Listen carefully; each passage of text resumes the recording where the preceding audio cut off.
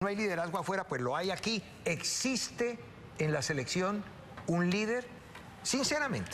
No, si- sinceramente, eh, Carlos, sí, sí, hay líderes. Eh, El tema es que mm, la comparación siempre va a ser odiosa y, y los líderes eh, tienden a tener diferentes características, algunos más ex- expresivos, algunos más influyentes, eh, eh, algunos más reservados, eh, líderes a, a través de- de- del lenguaje corporal, no solamente de- del discurso, otros a través del lenguaje corporal y del discurso.